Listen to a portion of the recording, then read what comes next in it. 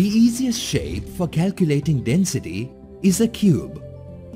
Unlike all other solids, only one measurement is required to calculate a cube's volume.